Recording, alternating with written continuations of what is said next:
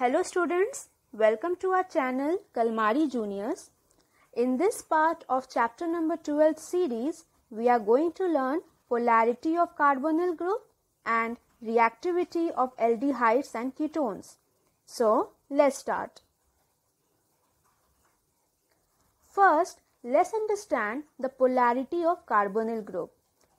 Polarity of carbonyl group depends on two factors. First, higher electronegativity of oxygen as compared to carbon and second, resonance effect. The oxygen atom in the carbonyl group is far more electronegative than carbon atom.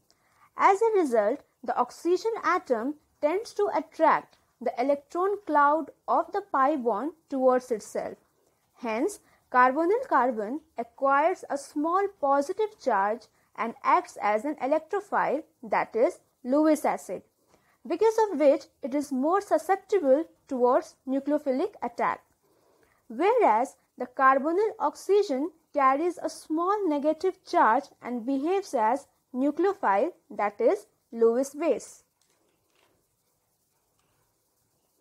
Now let's understand the relative reactivity of aldehydes and ketones.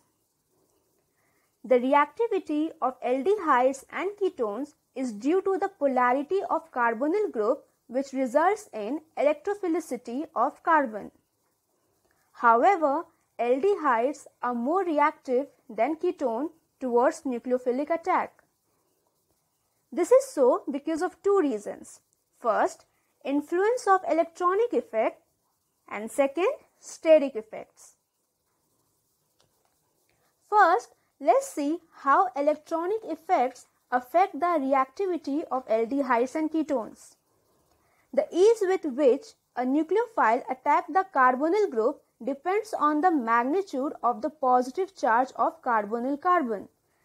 Since alkyl group has electron donating inductive effect, greater the number of alkyl groups attached to the carbonyl carbon, greater is the electron density on the carbonyl carbon and hence lower is the reactivity towards nucleophilic addition reaction.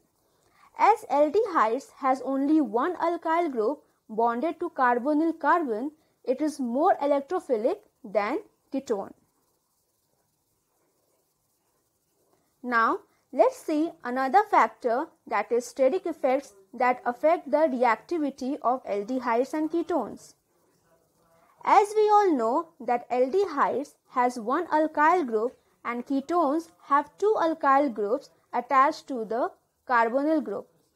So as the number and the size of alkyl group increases, the attack of the nucleophile on the carbonyl group becomes more and more difficult due to steric hindrance and hence reactivity decreases. Hence, aldehydes are easily attacked by nucleophile as compared to ketones. Thank you students for watching this video.